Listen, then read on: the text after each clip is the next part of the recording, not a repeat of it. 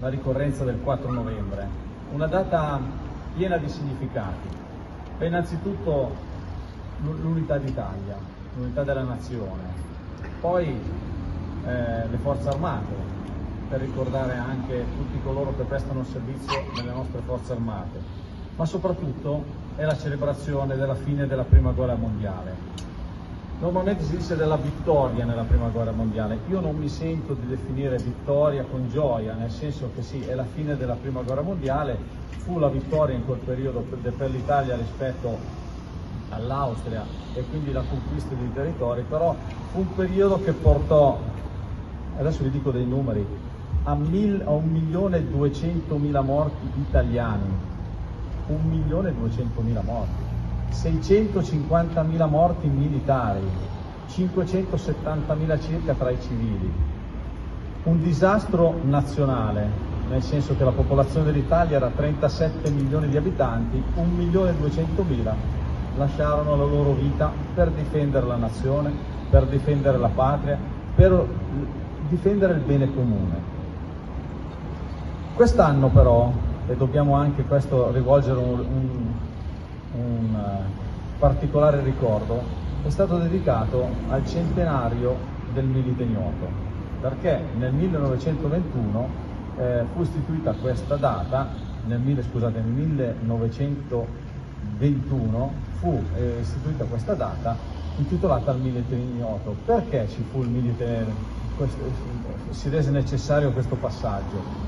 Perché l'evoluzione delle armi portò a costruire armi sempre più potenti, sempre più distruttive. C'erano proiettili che era, di cannoni che erano, pesavano più di, 100, più di qualche centinaio di chili. E questo cosa comportava? Comportava distruggere qualunque cosa dove arrivavano, distruggevano interi edifici e distruggendo gli edifici distruggevano tutti coloro che erano all'interno, le fortificazioni venivano distrutte da questi mortai, da questi cannoni e purtroppo tanti soldati finirono all'interno di questi bombardamenti e di questi soldati non trovarono che pochi e miseri resti.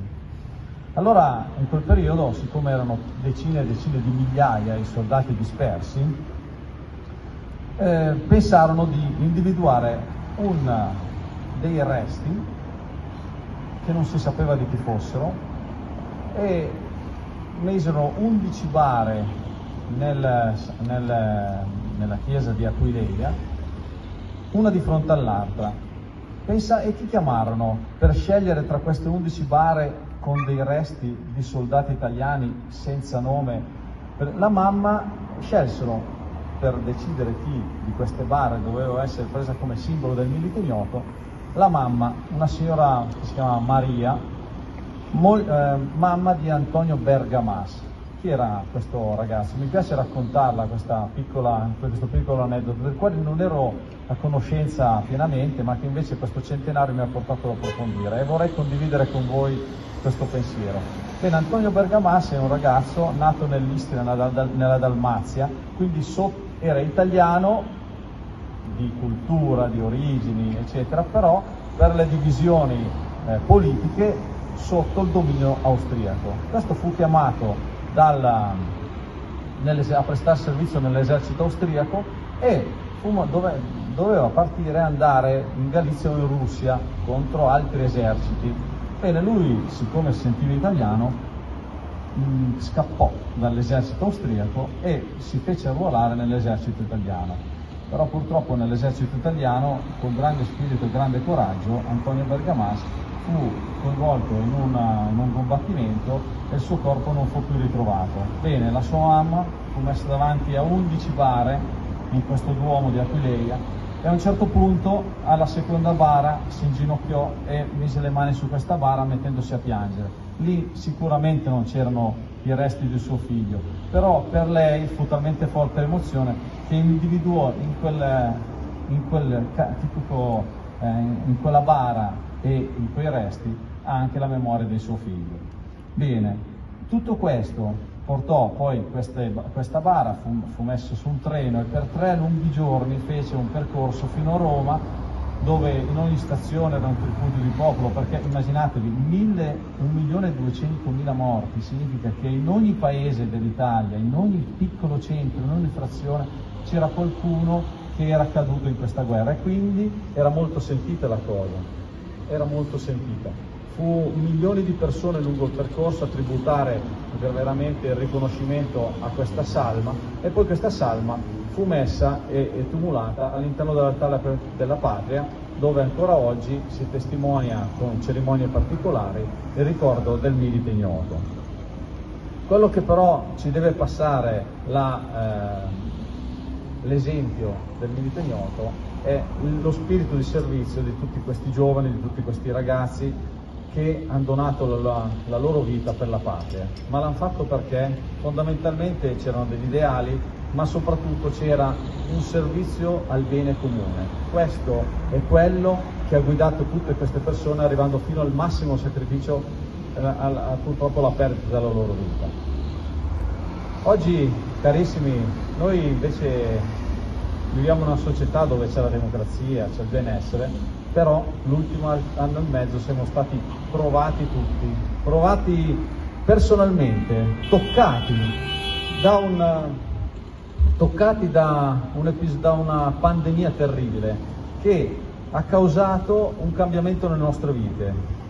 Beh, innanzitutto ha creato una sofferenza grandissima, ci sono tante persone che sono state male, tantissime persone sono morte e qui c'è una piccola similitudine col milite ignoto.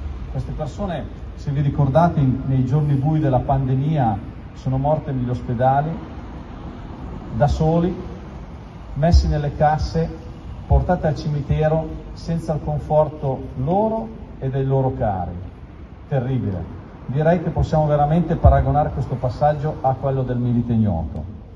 Ah, però tutta questa sofferenza, devo dirvi, ma l'ho visto anche nel nostro piccolo comune, nella nostra collettività, ha generato fenomeni bellissimi di solidarietà, una solidarietà che io in tanti anni da sindaco non avevo mai visto, mai visto, una vicinanza tra le persone.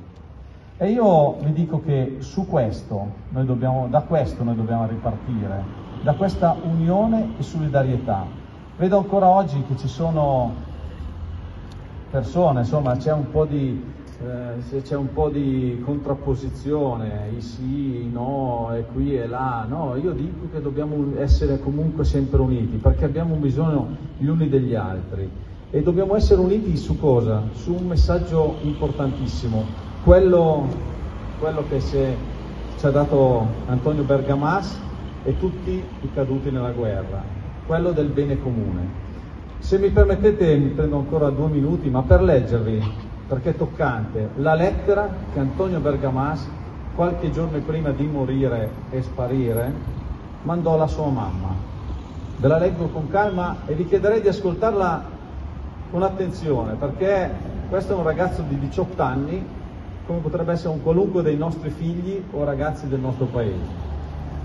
Scrive, domani partirò per chissà dove, quasi certo per andare alla morte.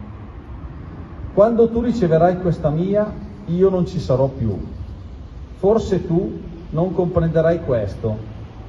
Non potrai capire come non essendo io costretto sia andato a morire sui campi di battaglia.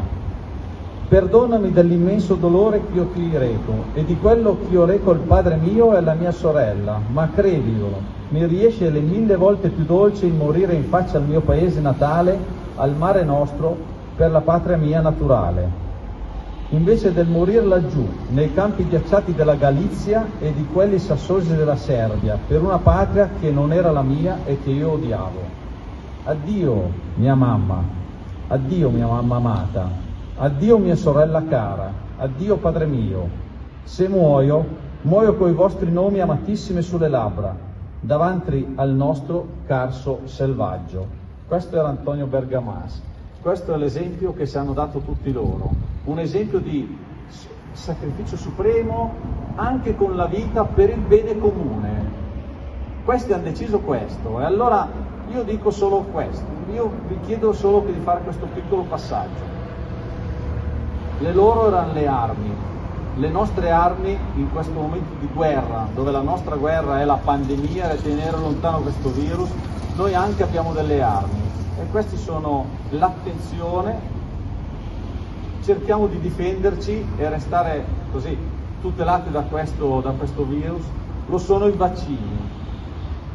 Facciamo la nostra parte, ognuno per quello che ci è concesso di fare, ma facciamola. L'hanno fatto prima queste persone, l'hanno fatto con tutto loro stessi, oggi tocca a noi. È una piccola chiamata alle armi, ma credetemi, se vogliamo guardare al futuro di nuovo di normalità, di nuovo per quello che ci piaceva prima, dobbiamo arruolarci e dobbiamo fare come loro, fare di tutto, tutto quello che è possibile, aiutare la medicina, aiutarci a uscire da questo periodo di guerra. Grazie a tutti, buon 4 novembre, viva l'Italia e viva Gaglianico!